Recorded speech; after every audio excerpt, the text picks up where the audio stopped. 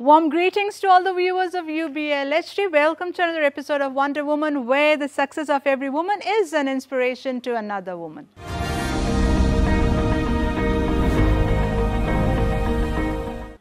ഇന്ന് നമ്മൾ നിൽക്കുന്നു അതുപോലെ ഭയങ്കര ഇൻസ്പിറേഷൻ നമുക്ക് തരുന്ന ഒരു പേഴ്സണാലിറ്റിയുടെ കൂടിയാണ് and she is a giver more than a taker നമുക്കെല്ലാം അറിയാം like the more you give നമ്മൾ എത്രയും കൂടുതൽ കൊടുക്കുന്നോ അതിലേറെ നമുക്ക് തിരിച്ച് കിട്ടാൻ പോകുന്നത് സോ അങ്ങനെ ഒരു personality as as I say every time I'm not gonna tell you the name of the person right now or the activity she does meet her and she will talk about her, her own self. Follow me.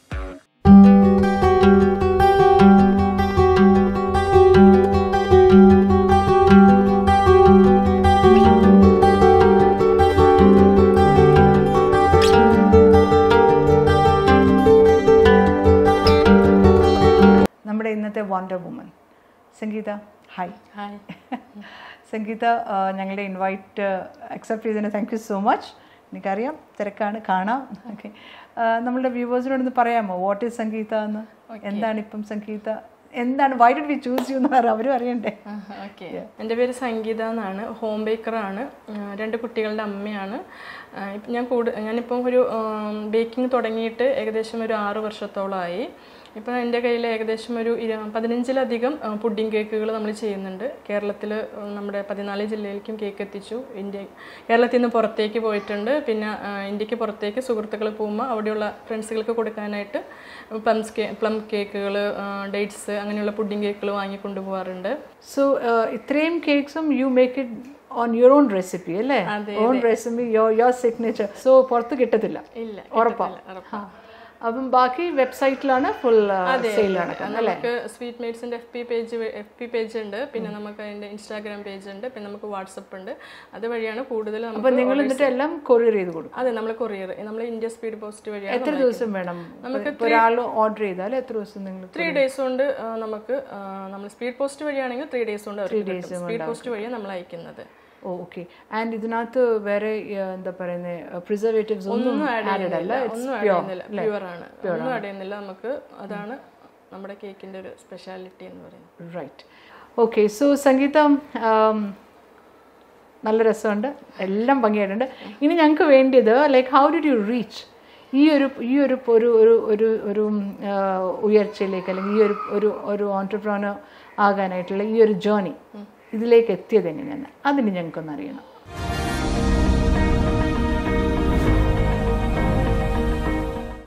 Sangeetha സംഗീതയ്ക്ക് പണ്ട് മുതൽ ഈ baking ഇഷ്ടമായിരുന്നോ ബേക്കിങ്ങിനോട് എനിക്ക് ഇഷ്ടമുണ്ട്.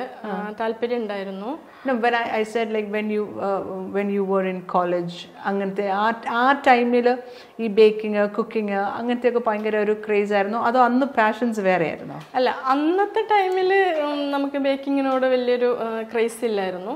അന്നത്തെ ടൈമിൽ നമുക്കെന്ന് വെച്ചിട്ടുണ്ടെങ്കിൽ കൂടുതൽ നമുക്ക് എന്തെങ്കിലും പഠിക്കുക അങ്ങനെ വേറെ നമുക്ക് വേറെ ടീച്ചർ അങ്ങനെയൊക്കെ ഒരു ഇതായിരുന്നു നമ്മുടെ മനസ്സിൽ അന്നത്തെ ടൈമിൽ ഇതിപ്പോൾ ഞാനിപ്പം മാരേജ് കഴിഞ്ഞതിന് ശേഷമാണ് എന്റെ ഹസ്ബൻഡിന്റെ ഒരു സപ്പോർട്ട് ഉള്ളത് കൊണ്ടാണ് എന്റെ സ്വപ്നത്തിലേക്ക് ഞാൻ എന്താ പറയുക നമ്മൾ കടന്നടക്കുന്ന നടക്കുന്ന നടന്ന സ്വപ്നത്തിലേക്ക് എന്ന് പറയുമ്പോൾ എന്തായിരുന്നു ആ സ്വപ്നം? ഒരു ബേക്ക് ബേക്ക് സ്റ്റാർട്ട് ചെയ്യുന്നതായിരുന്നോ? അതോ like you had other big dreams എനിക്ക് ഞാൻ എന്റെ ചെറുപ്പത്തിൽ ഇപ്പം പറയുകയാണെങ്കിൽ എന്റെ ചെറുപ്പത്തിൽ എന്റെ പപ്പ ഒരു ആക്സിഡന്റിൽ പെട്ട് ഗൾഫിൽ വെച്ചിട്ട് ഈ പറഞ്ഞ പോലെ എത്ര ഏത് ഞാൻ തീരെ ചെറുതാണ്. തീരെ കുഞ്ഞായിരുന്നു. എനിക്ക് തോന്നുന്നു ഒരു രണ്ടു വയസ്സ് അങ്ങനെയൊക്കെ ആ ടൈമിൽ വളരെ ചെറിയ ടൈമിൽ അപ്പോൾ നമുക്ക് ഇപ്പം അങ്ങനത്തെ ഒരു സിറ്റുവേഷനിൽ കൂടെ കടന്നു വന്നവർക്കറിയാം.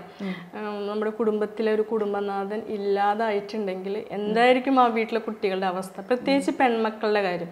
അവർക്ക് എപ്പോഴും എത്ര വലുതായാലും അവർക്ക് അവരുടെ അച്ഛൻ എന്ന് പറയുന്നത് ഭയങ്കര ഒരു പില്ലറാണ് നമുക്ക് ആരൊക്കെ ഉണ്ട് എന്ന് പറഞ്ഞാലും അത് ലോസ്റ്റ് ആയി കഴിഞ്ഞാൽ പിന്നെ നമുക്ക് ഭയങ്കര ഒരൊറ്റ മോളായിരുന്നു. ഇല്ല ഇല്ല ബ്രദർ ഉണ്ട്. ബ്രദർ നിങ്ങൾ രണ്ടുപേര്. ആ, രണ്ടുപേരാണ്. പിന്നെ അതിനുശേഷം കുറച്ച് നാൾ കഴിഞ്ഞപ്പോൾ അമ്മ സെക്കൻഡ് മാരേജ് കഴിച്ചു. അപ്പൊ പിന്നെ പൂർണമാവും അപ്പൊ അത് എത്രാമത്തെ വയസ്സിലെ? സംഗീതയ്ക്ക് എത്ര ഏജ് ആയപ്പോഴാണ് അമ്മ സെക്കൻഡ് മാരേജ് അതും ഞാൻ ഈ പറഞ്ഞ പോലെ വളരെ ചെറിയ എന്റെ പപ്പ മരിച്ച് രണ്ട് മൂന്ന് വർഷം കഴിഞ്ഞപ്പോഴേക്കും അമ്മ നീഡ് സപ്പോർട്ട് ആ ടൈമിൽ ഇപ്പൊ ഞാൻ ചിന്തിക്കുമ്പോ അമ്മയ്ക്ക് ഒരു സപ്പോർട്ട് അത് ആവശ്യം ബിക്കോസ് അമ്മ ഇസ് ഓൾസോ വെരി യങ് അതെ. അതെ അമ്മ വളരെ എന്താ പറയുക വളരെ തീരെ യങ് എന്ന് പറഞ്ഞാൽ അത്രയും യങ് ആയിട്ട് അന്നൊക്കെ പണ്ട് വേഗം കല്യാണം കഴിച്ചു കൂടുമല്ലോ.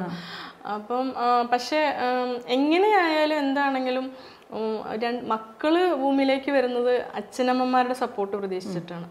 അവർക്ക് മേ ബി അവരുടേതായ ഒരു ലൈഫ് ചിലപ്പം ഉണ്ടാവാം. പക്ഷെ എനിക്കത് പറഞ്ഞാൽ ചിലപ്പോ നമ്മൾ ഓക്കെ മക്കൾ ആ, ഇപ്പം സംഗീത ഇപ്പം ഈ പറഞ്ഞില്ലേ മക്കളുടെ മക്കൾ അച്ഛനും അമ്മയുടെയും ഇതിലും ഭൂമിയിലേക്ക് വന്നു അപ്പോൾ അവരുടെ സപ്പോർട്ട് ആ സപ്പോർട്ടൊക്കെ വേണം ഇല്ല എന്നല്ല പറഞ്ഞത് പക്ഷെ നമ്മൾ ആസ് ആസ് ചിൽഡ്രൻ നമ്മൾ മനസ്സിലാക്കേണ്ട ഒരു കാര്യം കൂടിയുണ്ട് ആസ് ചിൽഡ്രൻ നമ്മൾ മനസ്സിലാക്കേണ്ടത് നമ്മളുടെ പേരൻസ് എന്ന് പറയുന്നത് ആദ്യം അവർ ഹ്യൂമൻ ബീങ്സാണ് ആദ്യം ഷീസ് എ വുമൻ പലരും അത് ചിലർ പറയും ഞാൻ എന്റെ കല്യാണം പോലും കഴിക്കാതെ ഞാൻ എന്റെ മക്കളെ വളർത്തിയെന്ന് പറയും. ഓക്കെ അത് അവരുടെ ഒരു അവരുടെ ഒരു മൈൻഡ് സെറ്റ് പക്ഷേ സംഗീതയ്ക്ക് തോന്നുന്നുണ്ട് അങ്ങനെ ആ പറയുന്നവരും അവർക്ക് they they would love to have a companion പക്ഷേ അവർ ആ ഒരു ഇത് ആ ഒരു കമ്പാനിയൻഷിപ്പ് അവർ മാറ്റി വലിച്ച അതൊരു ഒരു സാക്രിഫൈസ് തന്നെയാണ് അവർ ചെയ്യുന്നത് അവരുടെ മക്കൾക്ക് വേണ്ടി. പക്ഷേ അവരുടെ ജീവിതം മൊത്തം അവർ ഈ കുഞ്ഞുങ്ങളെ വളർത്തുന്നില്ല അവരുടെ ഒരു പേഴ്സണൽ സന്തോഷം അവർ മാറ്റി വെച്ചിട്ടാണ് പലർ ചെയ്യുന്നത്. തോന്നുന്നുണ്ടോ സംഗീതയ്ക്ക് അത് ന്യായമായിട്ടുള്ള കാര്യമാണ് അല്ല ഞാൻ അവർ എന്റെ ഒപ്പീനിയനാണ് ഇപ്പം ഞാൻ ഞാൻ ഇത്ര ഞാനിപ്പോൾ രണ്ട് മക്കളുടെ അമ്മയാണ്. എന്റെ ഒപ്പീനിയനാണ് നമ്മൾ പക്ഷെ ആ മക്കളെയും കൂടി ചേർത്ത് പിടിക്കണം. മക്കളോട് ചേർത്ത് പിടിക്കണം? തീർച്ചയായിട്ടും. ഓക്കെ അവർക്ക് ഒരു ലൈഫ് വേണം. കാരണം മക്കൾ ഒരു ഘട്ടം കഴിയുമ്പോൾ ഇപ്പൊ എന്റെ മക്കളാണെങ്കിൽ ഒരു ഘട്ടം കഴിയുമ്പോൾ അവർ അവരുടെ ലൈഫിലേക്ക് അവർ വേറെ പോകും നമ്മൾ അവരെ പ്രതീക്ഷിച്ചിട്ട് കാര്യമില്ല. ഇല്ല. നമ്മൾ അവരൊരു ആയി അവർ ഭൂമിയിലേക്ക് വരാൻ. പക്ഷെ നമുക്ക് ഓടി ഓടിച്ചെല്ലാൻ ഒരു ഇടം വേണം. അതെ. അല്ലാതെ അവർ ഏഹ്, ഇപ്പം ഈ സെക്കൻഡ് മാരേജ് കഴിച്ച് പോകുന്ന അച്ഛനോ അമ്മയോ അത് അവർക്ക് ഒരു പങ്കാളി വേണം. പക്ഷെ കിട്ടുന്ന പങ്കാളി നേരെ തിരിച്ച് ഭയങ്കര മോശമുള്ള ആളാണെങ്കിൽ എന്ത് ചെയ്യും? അവരുടെ ലൈഫ് പിന്നെയും പോവില്ലേ? അതിപ്പോൾ നമുക്കിപ്പോൾ അങ്ങനെ പറയാൻ ഒക്കുവോ സംഗീതം? നമ്മളുടെ ജീവിതത്തിൽ അത് നല്ലൊരു പങ്കാളിയെ വന്നിരുന്നെങ്കിലോ?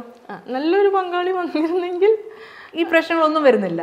സോ നമുക്കല്ലെങ്കിലും നമ്മളുടെ കൂടെ നമ്മൾ ഒരാളുടെ കൂടെ ജീവിക്കുമ്പോൾ മാത്രമേ ആ ഒരു വ്യക്തി എന്താണെന്ന് അറിയാൻ നോക്കൂ അത് തീർച്ചയായും നമ്മൾ എത്ര നമ്മൾ ഒരാളോട് ഫ്രണ്ട്ഷിപ്പ് കൂടി എന്തെല്ലാമാണെന്ന് പറഞ്ഞാലും അതിനെല്ലാം ഒരു ലിമിറ്റ് ഉണ്ട്. ഇവിടെ നമ്മൾ ഏത് ഡെസിഷൻ എടുത്താലും അവിടെ ശരിയോ തെറ്റിനേക്കാട്ടിലും കൂടുതൽ നമ്മൾ അതിൽ നിന്ന് എന്ത് പഠിച്ചു എന്ന് മാത്രമേ ഇമ്പോർട്ടന്റ് ഓക്കെ കാരണം നമുക്ക് അമ്മയ്ക്ക് ശരിയെന്ന് തോന്നിയ കാര്യം അമ്മ ചെയ്തു. ഓക്കെ പിന്നെ അതിന്റെ റിസൾട്ട് വന്നപ്പോഴാണ് പുള്ളി ഒരു പക്ഷേ നിങ്ങളെ നോക്കിയില്ല. അച്ഛൻ നിങ്ങളെ അല്ല അവർ നമ്മൾ സ്റ്റെപ്പ് ഫാദർ അവർ എന്തായാലും ഒരു പഴഞ്ചൊല്ല് പറയുമല്ലോ. എന്താണ് ഇച്ച കിട്ടിയാൽ മുഴച്ചിരിക്കുക അങ്ങനെ എന്തോ ഒരു പഴഞ്ചൊല്ലുണ്ടല്ലോ. അത് സ്റ്റെപ്പ് ഫാദറിന് അവരുടേതായ ഒരു വ്യൂ പോയിന്റ് ഉണ്ടാവും. തീർച്ചയായും മറ്റ് വേറെ ഒരു മക്കളെ അവർ സ്നേഹിക്കണം നമുക്ക് കമ്പൽസറി ചെയ്യാൻ നമുക്ക് ഒരിക്കലും പറ്റില്ല. പക്ഷെ അമ്മ ഉണ്ടോ? ഞാൻ പറഞ്ഞു നമുക്ക് ആളുണ്ടോ? ഉണ്ട്. പക്ഷെ വർത്തുണ്ടോ? ഏത് രീതിയിലാണ് എന്താ സംഗീതയ്ക്ക് അമ്മ ചേർത്ത് പിടിച്ചില്ല എന്ന് തോന്നിയത് എങ്ങനെയാ? അമ്മ എന്തൊക്കെ മക്കളെ പറഞ്ഞാലും വഴക്ക് കൂടിയാലും തല്ലു കൂടിയാലും അത് ആ മക്കൾക്ക് തോന്നണം. അത് അവിടെയാണ് ഒരു അമ്മയുടെ സക്സസ് എന്ന് പറയുന്നത്. അതായത് ഇപ്പം എന്റെ അമ്മ ഇപ്പം മോൻ എന്റെ അമ്മ എന്നെ അടിച്ചു. പക്ഷെ മോനെ വിഷയമല്ല കാരണം മോനറിയാം ഉള്ളിൽ ഇന്നറിൽ എന്റെ മോനോട് അത്രയും കെയറിംഗ് സ്നേഹം പക്ഷെ സംഗീതയുടെ അമ്മയ്ക്ക് സംഗീതയുടെ ഇഷ്ടമില്ലായിരുന്നു ഇല്ല ഹൺഡ്രഡ് പെർസെന്റേജ് ഇല്ല.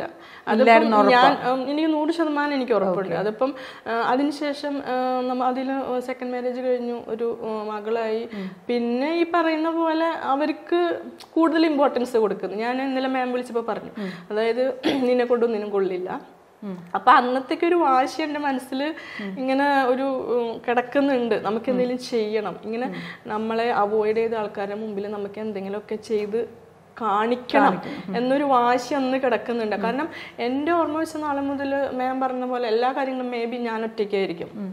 ഇപ്പം നമ്മളിപ്പം സ്കൂൾ വിട്ട് വന്നാൽ നമ്മൾക്കൊന്ന് മക്കൾ എന്ന് പറയുമ്പം അവർ കൂടുതൽ ആശ്രയിക്കുന്നത് അച്ഛനമ്മയാണ്. അച്ഛൻ അപ്പ അപ്പം പിന്നെ ആക്സിഡന്റ് അത് നമുക്കൊന്നും പറയാൻ പറ്റില്ല. വിധി. നമുക്കൊന്നും പറയാൻ പറ്റില്ല. പക്ഷെ കൂടെ ഒരാളുണ്ടല്ലോ. പ്രത്യേകിച്ച് പെൺമക്കൾ എന്ന് പറയുമ്പം അവരെ വളരെ കെയർ ചെയ്ത് കൊണ്ടുപോകുന്ന ഇവരെന്തൊക്കെ രീതിയിലേക്ക് ചെന്ന് ചാടാം.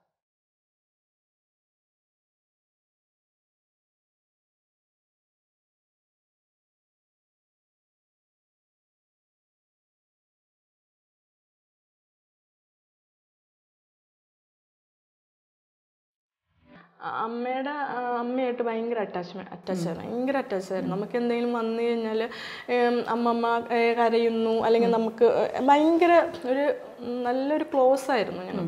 കുറച്ച് വർഷമായി അമ്മമ്മയും മരിച്ചുപോയി.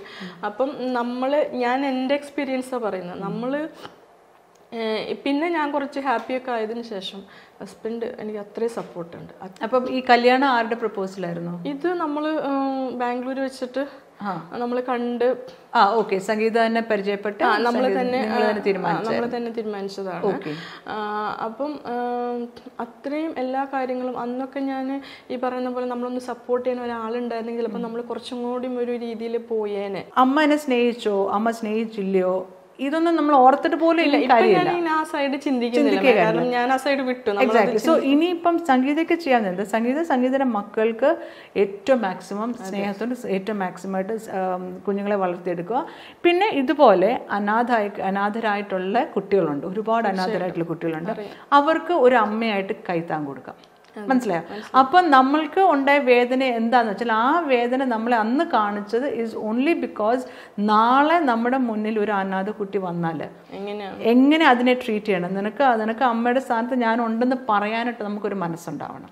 അപ്പം നാളത്തെക്കുറിച്ച് നമുക്ക് അറിയത്തില്ല. നാളെ സംഗീതയ്ക്ക് ഒരു പക്ഷേ ഇതുപോലത്തെ ഓപ്പർച്യൂണിറ്റീസ് ചിലപ്പം ദൈവം കൊണ്ടു തരുമായിരിക്കും ജീവിതത്തിൽ നമ്മൾക്ക് എല്ലാവർക്കും ഒരു പേർപ്പസ് ഉണ്ട് ഇൻ ലൈഫ് ആ പേർപ്പസ് എന്താ നമ്മൾ തിരിച്ചറിഞ്ഞാലാണ് നമ്മൾക്ക് ഉണ്ടായ പെയിൻ ഉണ്ടായ സഫറിങ് ഒക്കെ എന്തിനായിരുന്നു നമുക്ക് തിരിച്ചറിയാൻ ഒക്കുള്ളൂ അതേസമയം നമ്മുടെ ലൈഫിൽ ഒരു പേർപ്പസ് ഇല്ല. ഞാനിങ്ങനെ ജീവിച്ച് അങ്ങ് ചാകുമെന്ന് പറഞ്ഞു കഴിഞ്ഞാൽ നമുക്കുണ്ടായ മുറിവുകളൊക്കെ നമ്മൾ എടുത്ത് എടുത്ത് താലോലിച്ച് എന്നും കരഞ്ഞും പിടിച്ചും അങ്ങനെ ഇരുന്നു പോകും.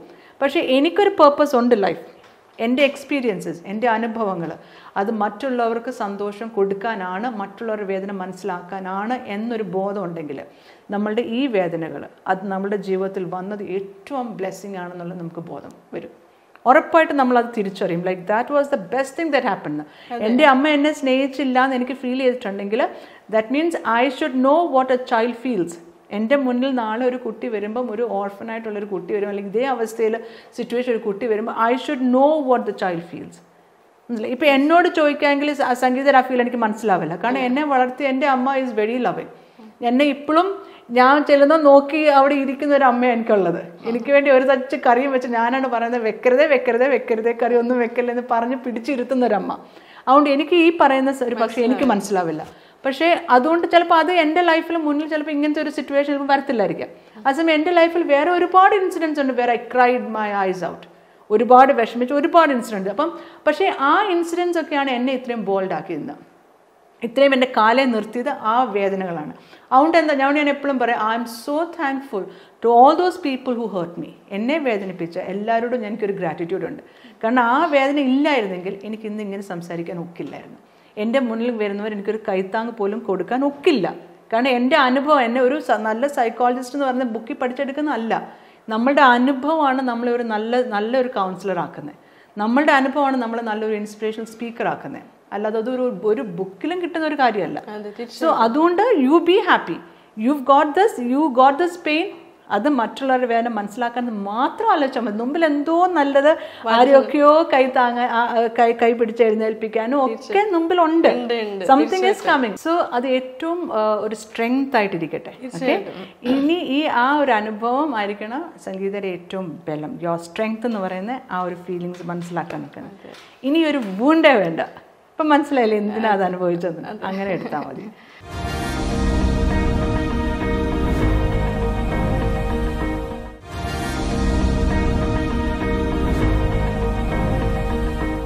സോ സംഗീതയ്ക്ക് ഈ ബേക്കിംഗ് തുടങ്ങാനുള്ള തോട്ട് എങ്ങനെ കിട്ടിയത്? ഞാനിപ്പം ബേക്കിംഗ് തുടങ്ങിയിട്ട് ആറാമത്തെ വർഷമാണ്. അപ്പം ഞങ്ങൾ ഇതിൽ എനിക്കിത് ഒരു ഇങ്ങനെ ഒരു ചിന്ത വന്നു തന്നെ. നമ്മൾ ഇപ്പോൾ ആറ് വർഷങ്ങൾക്ക് മുമ്പ് നമ്മുടെ കലൂർ പള്ളിയിൽ നമ്മുടെ സെന്റ് ആൻഡ്രീസ് പള്ളി ഉണ്ടല്ലോ. അവിടെ നമ്മൾ ക്രിസ്മസ് തലേന്ന് ഞാനും ഹസ്ബൻഡും മോനും പോയതാണ്. അപ്പം നല്ല തിരക്ക്. വണ്ടി പാർക്ക് ചെയ്യാൻ പറ്റുന്നില്ല. അപ്പം ഞങ്ങൾ പാർക്കിങ്ങിന് വേണ്ടി കുറച്ച് മാറിപ്പോൾ ഒരു ബേക്കറി കണ്ടു. അപ്പം ഞങ്ങളെ രണ്ടുപേരും അവിടെ നിർത്തിയിട്ട് ഓപ്പോസിറ്റ് സൈഡിൽ പാർക്ക് ചെയ്യാമെന്ന് വേണ്ടി ഹസ്ബൻഡ് അങ്ങോട്ട് പോയി. പെട്ടെന്ന് ഞാനൊരു സ്വരാണ് കേൾക്കുന്നത് ബാക്ക് ബാക്കിൽ നിന്ന്. മോനെ നല്ലൊരു ആ, ക്രിസ്മസ് ആയിട്ട് നമുക്ക് ഒരു കേക്ക് അവർ തന്നില്ലല്ലോ എന്നൊരു ആരോ പറയുന്നത് ആരോ പറയുന്നത്. അപ്പൊ ഞാൻ പെട്ടെന്ന് തിരിഞ്ഞു നോക്കിയപ്പം ഒരു ചേട്ടൻ കയ്യിൽ സ്റ്റിക്ക് ഉണ്ട്. അച്ഛൻ ഒരു മകൻ കയ്യിൽ പിടിച്ചിട്ടുണ്ട്. അപ്പൊ ആ ചേട്ടനും മകനും തമ്മിലുള്ള സംഭാഷണമാണ്. അവർ പറഞ്ഞിട്ട് അങ്ങോട്ട് പോകുന്നതാണ്. അപ്പൊ ഞാൻ പെട്ടെന്ന് ചേട്ടൻ ഇല്ല എന്താന്ന് ചോദിച്ചപ്പോൾ പറഞ്ഞു മോളെ ഞങ്ങൾ ട്രിവാൻഡ്ര സ്വദേശികളാണ്. ബൈജു എന്നാണ് എന്റെ പേര്. ഞങ്ങൾ എല്ലാ വർഷവും വരും. തിരുപ്പിറവി പ്രമാണിച്ച് എല്ലാ വർഷവും ഇവിടെ വരും. അപ്പൊ നമുക്ക് ഇവിടുന്ന് എന്തെങ്കിലും ആളുകൾ തരും. എല്ലാ വർഷവും അവർക്ക് കേക്ക് കിട്ടാറുണ്ട്. പക്ഷെ എന്തോ ഈ വർഷം അവർക്ക് കിട്ടിയില്ല.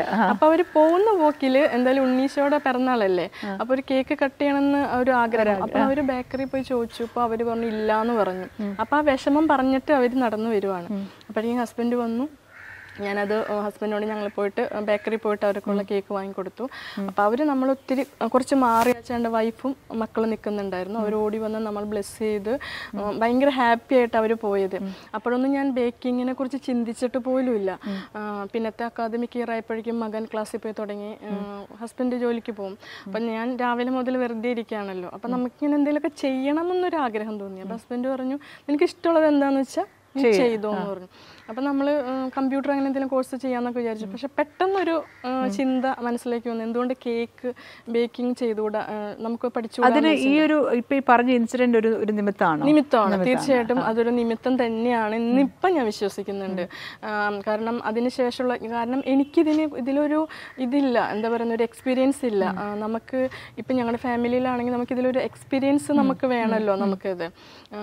അതൊരു വലിയൊരു നിമിത്തമാണ്. ആ ചേട്ടന്റെ ബ്ലെസ്സിങ് ആണ് എന്റെ ഒരു ഇതിന്റെ അടിത്തറ എന്ന് പറയുന്ന അത് അല്ലെങ്കിലും അങ്ങനെയാണ് സംഗീതം സംഗീത. നമ്മളിപ്പോൾ നമ്മളൊരു ജേർണി ഒരു ഡെസ്റ്റിനേഷനിൽ ചെന്ന് എത്താനായിട്ട് നമ്മൾ ഒരു സുപ്രഭാതത്തിലൊക്കെ ഞാൻ ബേക്ക് ചെയ്യാൻ പോവാന്നും പറഞ്ഞുകൊണ്ടല്ല നമ്മൾ അതിലേക്ക് എത്തുന്നത് നമ്മളുടെ ആ ആ ജേണിയിൽ ചെറിയ ചെറിയ ചെറിയ ചെറിയ നിമിത്തങ്ങളുണ്ട്. അതായത് നമ്മളെ ഇതിലേക്ക് കൊണ്ട് എത്തിക്കാനും നമ്മൾക്ക് ചിന്തിക്കാനും ഒക്കെ ചെറിയ ചെറിയ ഇൻസിഡൻസസ് ഇൻസിഡൻസസ് ഉണ്ടാവും. ആ ഇതിലേക്ക് ചെന്നെത്താൻ വേണ്ടി. അപ്പൊ ഇങ്ങനത്തെ ചെറിയ ചെറിയ ചെറിയ എപ്പോഴും ഉണ്ട് നമ്മുടെയൊക്കെ ലൈഫിൽ എല്ലാവരും ഒന്ന് കണ്ണു തുറന്ന് kept open every time. Like, what is ഇത് എന്റെ ലൈഫിന്റെ എന്റെ ഡെസ്റ്റിനിയിലേക്ക് എത്താനുള്ള ഒരു ഇൻസിഡന്റ് ആണോ എന്ന് എപ്പോഴും ഒന്ന് ഒന്ന് ശ്രദ്ധിക്കുന്നത് എപ്പോഴും നല്ല തീർച്ചയായിട്ടും. നമ്മളൊന്ന് ജസ്റ്റ് ഒന്ന് ഓപ്പൺ ചെയ്ത് നമ്മൾ കണ്ണൊക്കെ ഒന്ന് ഓപ്പൺ ചെയ്ത് നോക്കിയാൽ നമുക്കത് മനസ്സിലാവും. നമുക്ക് വേണ്ടിയിട്ട് അവിടെ ഒരു നിമിത്തമായിട്ടാണ് ആ സംഭവം അവിടെ വന്നത് അല്ലെങ്കിൽ ജസ്റ്റ് ഒരു രണ്ടോ മിനിറ്റോ മൂന്നോ രണ്ട് മിനിറ്റ് ഇറങ്ങി അവർ പോയേനെ. അല്ലെങ്കിൽ ഞങ്ങൾ അവിടെ ഇറങ്ങിയില്ല എന്നുണ്ടെങ്കിൽ അവരെ ഞങ്ങൾ മീറ്റ് ചെയ്യില്ലായിരുന്നു. അതെന്തോ ഒരു നിമിത്തമാണ്. അത് ഞാനിതിപ്പോൾ തുടങ്ങാനും ഇപ്പം നമ്മളിപ്പം പതിനാല് ജില്ലകളിലേക്കും എന്റെ കേക്ക് നമുക്ക് എത്തിയിട്ടുണ്ട്. കൊറിയർ സർവീസ് ഉണ്ട്. ഇപ്പം കേരളത്തിന് പുറത്തേക്ക് പോയിട്ടുണ്ട്. ഇപ്പം നമ്മുടെ ഫ്രണ്ട്സുകളാണെങ്കിലും ആ, പുറത്തേക്ക് പോകുമ്പോൾ ഇന്ത്യയ്ക്ക് പുറത്തേക്ക് പോകുമ്പോൾ അവിടെയുള്ള ഫ്രണ്ട്സുകൾക്ക് കൊടുക്കാനായിട്ട് നമ്മുടെ ഇന്ന് കേക്ക് കൊണ്ടുപോകാറുണ്ട്. അപ്പം പിന്നെ കൊറിയർ സർവീസ് ഉണ്ട് നമുക്ക്. അപ്പം ഇതൊക്കെ എത്തിപ്പെടാനുള്ള ഒരു നിമിത്തമാണ് കാരണം അവരുടെ ഒരു നമ്മളിപ്പം എന്താ പറയില്ല നമ്മൾ കൊടുക്കുന്തോറും ഈശ്വരൻ നമുക്കത് തന്നോണ്ടിരിക്കും. അത് എന്താണെങ്കിലും എന്ത് നമ്മുടെ കയ്യിൽ the നമ്മളുടെ കയ്യിൽ എന്താണുള്ളത്? നമ്മൾ കൊടുക്കും തോറും ഉള്ളതിൽ നിന്ന് കൊടുക്കും തോറും നമുക്കത് ഈശ്വരൻ കുറച്ച് കുറയ്ക്കില്ല കൂട്ടിയേ ഉള്ളൂ. അത് എനിക്ക് പല പല എക്സ്പീരിയൻസ് ഉണ്ട് നമ്മൾ എന്തെങ്കിലും ഒരു സംഭവം നമ്മളെ കൊണ്ടുള്ളത് കൊടുത്ത് നമ്മൾ തിരിച്ചു വരുമ്പോൾ നമ്മൾക്ക് കാത്തിരിക്കുന്ന ഭയങ്കര ഒരു സർപ്രൈസ് ആയിരിക്കും നമ്മളെ കാത്തിരിക്കുന്നത്. സോ എന്നിട്ട് പിന്നെ അവിടുന്ന് പിന്നെ ആ, തോട്ട് കിട്ടി. തോട്ട് കിട്ടിയിട്ട് പിന്നെ കിട്ടിയിട്ട് പിന്നെ ഞങ്ങൾ അപ്പോൾ ഒരു വൺ ഡേ അത് ഫ്രഷ് ക്രീം കേക്കുകളാണ് വൺ ഡേ ഒരു ക്ലാസ് അറ്റൻഡ് ചെയ്തു. അപ്പോൾ നമ്മൾ തിരിച്ച് ഒരു ക്ലാസ് മോട്ടിവേ ക്ലാസ് കേട്ടുമ്പോൾ നമ്മൾ അതിന്റെ ഇൻട്രസ്റ്റിൽ നമ്മൾ വരുമല്ലോ. ഇപ്പം തന്നെ ഞാൻ ചെയ്യും എന്നുള്ളൊരു ഭയങ്കര ഒരു ഇൻട്രസ്റ്റിൽ ഞങ്ങൾ കുറച്ച് സാധനം ബേക്കിങ്ങിന് വേണ്ട സാധനങ്ങളൊക്കെ വാങ്ങിക്കൊണ്ടുവന്നു അപ്പോഴാണ് നമുക്കൊരു അവനില്ല എന്ന് ഒരു കുഞ്ഞൊരു അവൻ വാങ്ങി. നമ്മൾ നോർമൽ ഒരു അവൻ വാങ്ങി. ആ ഒരു അവനിൽ ആ ക്രിസ്മസ് ടൈമിൽ ഞാനൊരു അറുപത് കേക്ക് മേലെ ചെയ്തിട്ടുണ്ട്. അത് ഇന്നിപ്പോൾ ആലോചിക്കുമ്പോൾ എങ്ങനെ അതൊക്കെ നമ്മൾ തരണം ചെയ്തു എന്ന് ആലോചിക്കുമ്പോൾ ഭയങ്കര പാടാണ് കാരണം ഒരു അവനിൽ നമുക്ക് അറ്റ എ ടൈം ഒരു കേക്ക് ബേക്ക് ചെയ്യാൻ പറ്റുള്ളൂ. അത് നമ്മൾ അതിന്റെ ബാറ്റർ തയ്യാറാക്കണം. അത് താഴെ വരണം അവൻ മേലെ. താഴെ വരണം അവൻ മേലെ. നമുക്ക് പക്ഷേ ഞാൻ നിർത്തിയില്ല. That you took, Sangeeta. ആ ബേബി സ്റ്റെപ്സ് എടുക്കാതെ you can never become baker. അത് ഒരിക്കലും ആവില്ല. ആ ബേബി സ്റ്റെപ്സ് ആണ് നമ്മളെ ഓരോ സ്റ്റെപ്പ് ഓരോ ഓരോ പ്രോസസ്സിലും നമ്മൾ നമുക്ക് ഇമ്പ്രൂവ്മെന്റ് തരുന്ന ഈ ഒരു ബേബി സ്റ്റെപ്സ് തന്നെയാണ്. അതെ അതെ. അപ്പൊ ഞാൻ നിർത്താൻ തയ്യാറായില്ല. കാരണം വിഷമമാണ്. കാരണം ഇത് നമുക്ക് കുറെ നേരം നിൽക്കണം താഴെ വേണം മേലെ പോണം മേലെ പോണം താഴെ വേണം. പിന്നെ നമുക്ക് രണ്ട് സിസേറിയൻ കഴിഞ്ഞതിന്റെ കുറച്ച് ബുദ്ധിമുട്ട് രണ്ടും ബാക്ക് നമുക്ക് അനസ്തേഷ്യ തന്നൊക്കെ നമുക്ക് നടുവില്ല അപ്പൊ അതിന്റെ അതിന്റെ ബുദ്ധി പക്ഷെ എനിക്കത് ഇല്ല. ഞാൻ ചെയ്യും. എനിക്കൊരു ഭയങ്കര ഒരു മെന്റൽ ഞാൻ പറഞ്ഞില്ല ചിലപ്പോൾ നമ്മൾ കുട്ടിക്കാലത്ത് കടന്നു വന്ന അങ്ങനത്തെ നമ്മൾ എല്ലാ കാര്യങ്ങളും ചെയ്ത് നമുക്കുള്ള ഒരു ശീലം കൊണ്ടാണ് എന്താണോ കാരണം എനിക്കത് ചെയ്തേ പറ്റൂ എന്നായി. പിന്നെ ഇതിന്റെ മാർക്കറ്റിംഗ്. അതൊക്കെ ഒന്ന് ആ സമയത്ത് ഞാൻ തന്നെയാണ്. ഇപ്പൊ എന്റെ ഫ്രണ്ട്സുകളുണ്ട് കൂടുതലും. അവരെ വിളിക്കും. അവർ ഫോണിൽ ഇപ്പൊ ഹസ്ബൻഡ് ജോലിക്ക് പോകുന്ന ടൈമിൽ മോനും ക്ലാസ്സിൽ പോകുമ്പോൾ ഞാൻ ബേക്ക് ചെയ്ത് ഹസ്ബൻഡിനോട് പറയും എന്റെ സ്ഥലത്ത് പോകും നീ പൊയ്ക്കോ എന്ന് പറയും. ആൾ ഫുൾ ഫ്രീഡം തന്നിട്ടുണ്ട്. അപ്പം ഞാൻ ഫ്രണ്ട്സുകൾക്ക് കൊടുക്കും. അവർക്ക് ഇഷ്ടപ്പെടും. അപ്പം ഞാൻ പറയും നിങ്ങൾ ഫ്രണ്ട്സുകളോട് പറയണം. അങ്ങനെ ആ ക്രിസ്മസ് ടൈമിൽ ഒറ്റ ഒരു അവനിൽ അറുപത് കേക്ക് മേലെ ചെയ്തിട്ടുണ്ട്. അത് ഡേറ്റ്സ് കേക്ക് മാത്രമാണ് ഉണ്ടായിരുന്നത്. പിന്നെ പിന്നെ നമുക്ക് പിന്നെ കുറച്ചും കൂടി അല്ല കുറച്ചും കൂടി വലിയൊരു ഓവൻ മേടിക്കാൻ തോന്നി നമുക്ക്. കാരണം ഈ ഓവനിൽ നമുക്ക് പറ്റുന്നില്ലല്ലോ. അപ്പം നമ്മൾ കുറച്ചും കൂടി വലിയൊരു അവൻ വാങ്ങി. കുറച്ചും കൂടി വലിയൊരു അവൻ വാങ്ങി. അതിനനുസരിച്ചുള്ള നമ്മളൊരു മെഷീനും കൂടി വാങ്ങി. ബീറ്റ് ബീറ്റ് ചെയ്യുന്ന ഒരു മെഷീനും വാങ്ങി. അങ്ങനെ നമ്മൾ പയ്യെ പയ്യെ നമ്മൾ കുറച്ചും കൂടി പ്രോഗ്രസ് ആയി. അപ്പോൾ ഒരു കേക്ക് മാത്രമേ എന്റെ ഉണ്ടായിരുന്നുള്ളൂ. അപ്പോൾ കുറച്ചും കൂടി എനിക്ക് ചെയ്യണമെന്ന് തോന്നി. അപ്പം ഞങ്ങളൊരു സ്ഥലത്ത് പോയപ്പോൾ ഒരു കേക്ക് കഴിച്ചു. ഭയങ്കരമായിട്ട് എനിക്ക് ഇഷ്ടപ്പെട്ടു. അപ്പോൾ ഇത് എങ്ങനെ ഉണ്ടാക്കണം എന്ന് ആരും അവരുടെ സീക്രട്ട് പറഞ്ഞിരുന്നല്ലോ അപ്പോൾ ആ കേക്കിന് ബട്ടർ സ്കോച്ച് കേക്കാണ് പുഡിംഗ് കേക്കാണ്. അപ്പോൾ ആ കേക്കിന്റെ പുറകെ ഞാൻ ഒരുപാട് നാളെ കഷ്ടപ്പെട്ടിട്ടുണ്ട്. ഒരു ദിവസം പതിനഞ്ച് കേക്കൊക്കെ ഉണ്ടാക്കും. സംഭവം ചെറുതാണ് പക്ഷെ സാധനം പതിനഞ്ച് കേക്കിൽ എത്ര എണ്ണം കുളമായി. എല്ലാം കുളമായി. അല്ലല്ല അല്ല അല്ല പതിനഞ്ച് ഒരു ദിവസം പതിനഞ്ചെണ്ണം ചെയ്തിട്ടുണ്ട്. അല്ലേ പറഞ്ഞു ഫുള്ള് കുളമായി. എല്ലാം കുളമായി. അങ്ങനെ എനിക്ക് ആ കേക്ക് എനിക്ക് തോന്നുന്നു ഏകദേശം ഒരു ഒത്തിരി നൂറ് മേലെ കേക്കുകൾ ചെയ്ത് നോക്കിയിട്ടുണ്ട്. ആ ടെക്സ്ചർ വരുന്നില്ല ടേസ്റ്റ് വരുന്നില്ല. ചിലപ്പം അല്ല വേറെ പക്ഷേ യൂറിൻ ക്വിറ്റ് ഇല്ല ഞാൻ മാറിയില്ല. അത്രയും കേക്ക് കുളമായി കൊളമായാലും ഞാൻ ഞാൻ. മാറത്തില്ല. ചിലപ്പോ രാത്രി ഒരു മണി രണ്ട്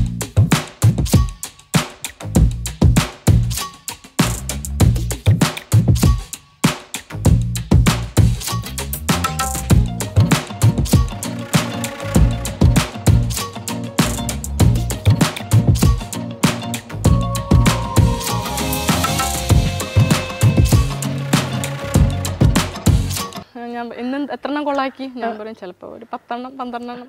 എന്നിട്ട് ഈ കൊളമായ കേക്ക് എന്താ ചെയ്യുക? കൊളായ കേക്ക് കളയും. കത്തിരക്കളയോ നമുക്ക് നമുക്ക് ടേസ്റ്റ് നോക്കുമ്പോ എനിക്ക് തന്നെ അറിയാൻ കൊള്ളില്ല എന്നറിയാമോ അങ്ങനെ, okay. ഹസ്ബൻഡിനോട് ഹസ്ബൻഡ് പറയും "ഏയ്, ഇതൊന്നും ആയിട്ടില്ല. അത് പുറത്തോട്ട് ഇടക്കരുത് എന്ന് പറയും അങ്ങനെ ഹസ്ബൻഡ് എഞ്ചിനീയറാണ് അപ്പൊ പുള്ളി ഒരു ഹൺഡ്രഡ് പെർസെന്റേജ് വന്നാലാണ് പുറത്തേക്ക് പുള്ളിയുടെ അപ്രൂവൽ വന്ന എനിക്ക് അത് ഓക്കെ ആണ് കാരണം പുള്ളി നമ്മളിപ്പോ എന്തെങ്കിലും ഒരു ഒപ്പീനിയൻ അറിയണമെങ്കിൽ ഇപ്പം ഞാനൊരു കേക്ക് നൈബറിന് കൊടുത്തു. അവർ ചിലപ്പം നമ്മൾ വിഷമിക്കണ്ട പക്ഷെ ഹസ്ബൻഡിനും അല്ലെങ്കിൽ വൈഫും ഹസ്ബൻഡ് കറക്റ്റ് പറയും.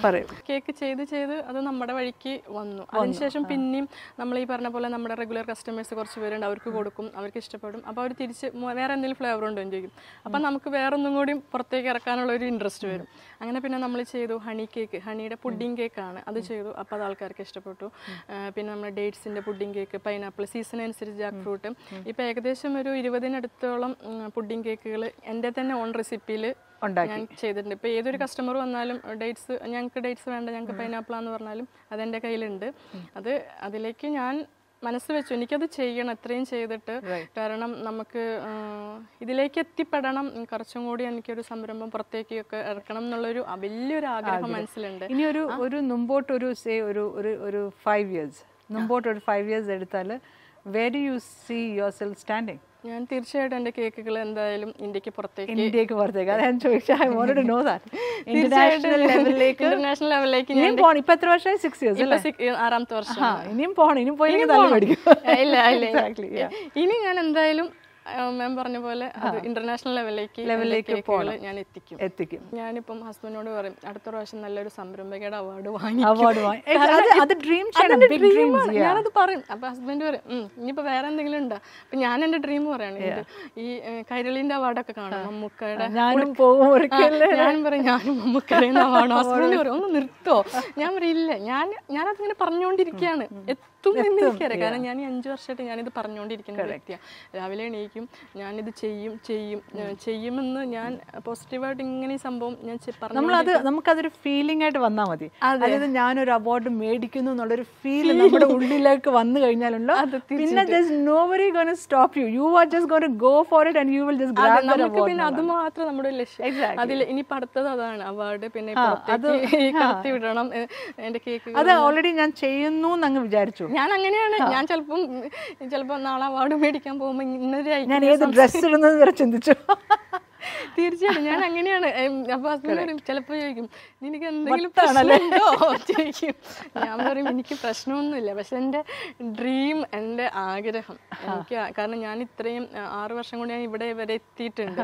കൊടുക്കുന്ന ഒരു കേക്കിന് ആരും ഇതുവരെ കുറ്റം പറയില്ല വാങ്ങുന്നവർ തന്നെയാണ് എനിക്ക് കൂടുതലും ഇങ്ങനെ. അതായത് ഇപ്പം ഒരാൾക്ക് കൊടുത്തു അപ്പൊ അവർക്ക് ഇഷ്ടപ്പെട്ടു അവർ ഫ്രണ്ട്സുകൾ ഇപ്പൊ നാളേക്ക് കൊടുക്കാനുണ്ട്. ഇപ്പൊ ഗൾഫിൽ പോകുന്ന ഒരു ടീമാണ്. അവർ വാങ്ങിക്കൊണ്ട് ഒരു കേക്കാണ് നമ്മൾ ആദ്യം കൊടുക്കുന്നത് അതിൽ നിന്ന് അവർക്ക് ഇഷ്ടപ്പെട്ട് വേറെ അടുത്ത ഓർഡർ. ചെയ്യുന്നത് അപ്പൊ ഇനി നമ്മളുടെ പ്രൊഡക്റ്റിൽ നമുക്ക് കോൺഫിഡൻസ് ഉണ്ടെങ്കിൽ. നൂറ് ശതമാനം ഓക്കെ. നമുക്ക് കോൺഫിഡൻസ് വേണം. നമ്മൾ എന്ത് പ്രൊഡക്റ്റാണ് കൊടുക്കുന്നതെന്ന് എന്തൊരു പ്രൊഡക്റ്റ് പ്രൊഡക്റ്റും കൊടുക്കുമ്പോൾ അതിൽ സത്യസന്ധത. Anything that you want our viewers apart from this? ഇതല്ലാതെ സംഗീതയുടെ അനുഭവത്തിൽ നിന്ന് എന്തെങ്കിലും ഒരു ക്യാപ്സിൽ ഞാൻ ചെറിയൊരു ഇതും കൂടി പറയാൻ പറഞ്ഞോളൂ. നമ്മളിപ്പം എന്തെങ്കിലും ഒരു ഫംഗ്ഷൻ ഒക്കെ നമ്മൾ കേക്കൊക്കെ വാങ്ങി കട്ട് ചെയ്യുമല്ലോ. അപ്പൊ ഞാൻ പല സ്ഥലങ്ങളിലും കണ്ടിട്ടുണ്ട് അവർ മുഖത്തൊക്കെ കേക്ക് വാരി തേച്ച് ഭയങ്കര ആർഭാടം പോലെ കളയുന്നു. പക്ഷെ അതൊരു പീസ് കേക്കിന് വേണ്ടി കൊതിക്കുന്ന ഒരുപാട് പേര് ചുറ്റുമുണ്ട്. ചുറ്റുമുണ്ട് നമ്മൾക്ക് നമ്മുടെ നമുക്ക് പറ്റുന്നുണ്ടെങ്കിൽ നമ്മുടെ മക്കളുടെ പിറന്നാളിന് അല്ലെങ്കിൽ നമ്മുടെ വെഡിങ് ആനിവേഴ്സറി ഒക്കെ പറ്റുന്നുണ്ടെങ്കിൽ നമ്മൾ എവിടെയും പോകണ്ട പക്ഷെ നമ്മൾ ചുറ്റുവട്ടത്ത് നോക്കിയാൽ ഒന്ന് ജസ്റ്റ് ഒന്ന് പോയിട്ട് നമ്മൾ ഒരു വാങ്ങി അവർക്ക് കൊടുത്തിട്ടുണ്ടെങ്കിൽ അവരുടെ ഒരു ബ്ലെസ്സിങ് അവരുടെ മുഖത്തെ സന്തോഷം. കാരണം ഞാൻ പല സ്ഥലത്തും ഞാനിത് ഞാൻ ഈ ബേക്കിംഗ് ആയതുകൊണ്ട് ഞാൻ നേരത്തെ പറഞ്ഞ പോലെ എവിടെയെങ്കിലും പോകുമ്പോൾ നമ്മൾ കേക്ക് കൊടുക്കുമ്പോൾ അവരൊരു സന്തോഷം കാണണം. നമുക്കത് അവരത് ഇപ്പോൾ ഒരു ക്രീം കേക്ക് ആയിക്കോട്ടെ അത് കഴിക്കാത്ത ഒത്തിരി ആൾക്കാരുണ്ട്. ഒരുപാട് ആൾക്കാരുണ്ട്. ഈവൻ ഇപ്പം നമ്മളൊരു റെസ്റ്റോറന്റിൽ പോവാണെങ്കിൽ നമ്മൾ ഫുഡിന് വേണ്ടി വെയിറ്റ് ചെയ്യും. എല്ലാവരും ഫോണിലായിരിക്കും ഇപ്പോൾ ഈ സമയത്ത്. പക്ഷെ നമ്മൾ ജസ്റ്റ് ഒന്ന് ഹോട്ടലിന് പുറത്തേക്ക് നോക്കിയിട്ടുണ്ടെങ്കിൽ വയസ്സായ അച്ഛന്മാരും അമ്മമാരും കാണാം. കൈ നീട്ടിയിട്ട് ഒരു നേരത്തെ ആഹാരത്തിന്. ചിലവര് ചിലപ്പം പത്ത് രൂപ അഞ്ച് രൂപയ്ക്ക് വെച്ച് കൊടുക്കുന്നതാണ് പക്ഷെ നമ്മൾ എന്താ ചെയ്യേണ്ടതെന്ന് വെച്ചിട്ടുണ്ടെങ്കിൽ നമുക്കത് അനുഭവമായിരിക്കും തീരും. എന്താ വെച്ചിട്ടുണ്ടെങ്കിൽ അവിടെ ഒരു പാഴ്സൽ കൗണ്ടർ ഉണ്ടെങ്കിൽ നമ്മൾ എന്തോ വാങ്ങുന്നത് അത് വാങ്ങി കൊടുക്കാം. ഞാൻ ഇതുപോലെ തന്നെ ഞങ്ങൾ ഫാമിലി ആയിട്ട് എവിടെയോ പോയിട്ട് ഉച്ചയ്ക്ക് വരുന്ന സമയത്ത് ഞങ്ങൾ ലഞ്ച് കഴിക്കാൻ കയറി അപ്പം ഞങ്ങൾ പുറത്തേക്ക് നോക്കിയപ്പം ഒരു വയസ്സായ ഒരു അച്ഛൻ മുഖം ഭയങ്കര ദയനീയത. ആളുകൾ പോകുന്നു വരുന്നു എല്ലാവരും തിരക്കാണല്ലോ. ചിലവരെന്തോ കൊടുക്കുന്നുണ്ട്. അപ്പം ഞാൻ പെട്ടെന്ന് അവിടെ ഒരു ഞങ്ങൾ അന്ന് ബിരിയാണി ഓർഡർ ചെയ്ത് ആ ബിരിയാണി വാങ്ങി പാർസൽ കൗണ്ടറിൽ പോയിട്ട് ആ അച്ഛന് കൊടുത്തു. ആ അച്ഛൻ പെട്ടെന്ന് കരഞ്ഞിട്ട് ആ ചട്ടം ആ അച്ഛൻ പറഞ്ഞൊരു ഡയലോഗ് എന്ന് വെച്ചിട്ടുണ്ടെങ്കിൽ ഞങ്ങളെപ്പോലെയുള്ള പാവങ്ങൾക്ക് ഇതിനൊരു യോഗം ഇല്ല. നമ്മൾ എത്രയോ ബിരിയാണി വാങ്ങി കല്യാണങ്ങൾക്ക് വേസ്റ്റ് ആക്കി കളയുന്നുണ്ട്. ഇല്ല? എനിക്ക് ഭയങ്കരമായിട്ട് ഫീൽ കാരണം ആ ചേട്ടൻ ഉച്ച സമയം രണ്ട് മണി സമയമാണ് എനിക്ക് തോന്നുന്നു ഒരു എഴുപത് വയസ്സ് മേലെ ഉണ്ടാവും ആ അച്ഛന്റെ കണ്ണിൽ നിന്നൊക്കെ വെള്ളം വന്നിട്ട് ഒരു ബിരിയാണി കഴിക്കാൻ എത്രയോ നാളെ ആഗ്രഹിക്കുന്നു. ഞങ്ങളെപ്പോലുള്ള പാവങ്ങൾക്ക് ഇതിന് വിധിയില്ലല്ലോ മക്കളെ എന്നാണ് അച്ഛൻ പറഞ്ഞത്. അപ്പോൾ അത് കൊടുത്തു കൊടുത്തു. അപ്പോൾ എന്തു സന്തോഷവും സന്തോഷവും സങ്കടവും ഒരുപാട് വർഷമായി ഒരു ബിരിയാണി എന്ന് പറഞ്ഞ സംഭവം ആ ചേട്ടൻ കഴിച്ചിട്ട്. അപ്പം നമ്മൾ ഹോട്ടലിലൊക്കെ പോകുമ്പം നമുക്ക് ഈ ഫോണിലൊക്കെ നോക്കിയിരിക്കുക. നമ്മൾ ചുറ്റും ഒന്ന് നോക്കുക. നമ്മൾ എന്താണ് കൊടുക്കുന്നത്? കാരണം നമ്മൾ ഭക്ഷണത്തിന് നോക്കിയിരുമ്പോൾ നിവൃത്തിയില്ലാത്ത ആളുകളായിരിക്കും പുറത്തൊരു ഒരു നേരത്തെ ഒരു ചിലപ്പോൾ ഒരു രണ്ട് നേരം ദിവസം കഴിഞ്ഞിട്ട് ഭക്ഷണം കഴിച്ചിട്ടുണ്ടാവില്ല. അപ്പം നമ്മളെ കൊണ്ട് ആവുന്ന രീതിയിൽ നമുക്ക് എന്താണോ അത് നമ്മുടെ കയ്യിൽ നിന്ന് പോയി എന്ന് ഓർത്ത് ആരും വിഷമിക്കേണ്ട. അതിൽ ഇരട്ടിയായിട്ട് നമുക്ക് തരുള്ളൂ. വിശക്കുന്നവന് കൊടുക്കുക എന്നുള്ളതാണ് നമ്മുടെ ഏറ്റവും വലിയൊരു കാര്യം. അപ്പം അങ്ങനെയൊക്കെ നമുക്ക് പറ്റും. ഇന്നത്തെ കാലത്ത് എല്ലാവർക്കും പറ്റും. ഒരു ബിരിയാണിക്ക് വാങ്ങണേ പലരും ചിലപ്പം വാങ്ങി കൊടുക്കൂല. പക്ഷെ ആ ബിരിയാണി ഒന്ന് അതൊന്ന് കൊടുത്തു വെക്ക്. സാധാരണ എന്തെങ്കിലും കൊടുക്കാതെ അങ്ങനത്തെ ഒരു ഭക്ഷണം കൊടുത്തു കഴിഞ്ഞാൽ അവരുടെ സന്തോഷം അവരുടെ ബ്ലെസ്സിങ് അത് മതി നമുക്ക് മുന്നേ. വേറെ ഒന്നും വേണ്ട. പൈസയൊക്കെ നമുക്ക് പിന്നെ എങ്ങനെയൊക്കെ ഉണ്ടാക്കാം. നമുക്ക് ഹാർഡ് വർക്ക് ചെയ്താലും നമുക്കത് ഉണ്ടാക്കാം. പക്ഷെ ഒരു ബ്ലെസ്സിങ് എന്ന് പറയുന്നത് വിശക്കുന്നവന്റെ കയ്യിൽ നിന്ന് ഒരു ബ്ലെസ്സിങ് കിട്ടാന്ന് പറഞ്ഞിട്ടുണ്ടെങ്കിൽ അത് അതൊരു അതൊരു പോയിന്റ് ആണ് സംഗീത പറഞ്ഞൊരു പോയിന്റ് ആണ് and I hope the point has reached into everyone's heart ഇതൊക്കെ ചെറിയ ചെറിയ കാര്യങ്ങളായിട്ട് നമ്മൾ പലപ്പോഴും നിസ്സാരമായി തള്ളിക്കളയുന്ന അല്ലെങ്കിൽ കണ്ടില്ല എന്ന് വെക്കുന്ന ചില കാര്യങ്ങളാണ് and I truly hope that this has inspired at least few viewers and with this, we've completed our 30 minutes today. So, as I tell every time, me Priya Jacob signing off. So, until we meet next, it's a bye from my side.